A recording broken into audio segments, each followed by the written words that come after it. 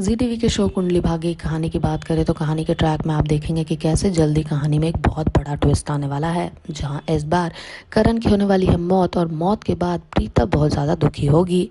अब ऐसे में हम आपको बता दें कि कहानी के ट्रैक में अब तीन चार महीने बाद करण की वापसी होने वाली है। जी हाँ एक लीडिंग वेबसाइट की माने तो कहा जा रहा है कि करण को शो से गायब कर दिया जाएगा और पूरी कहानी को बदल दिया जाएगा।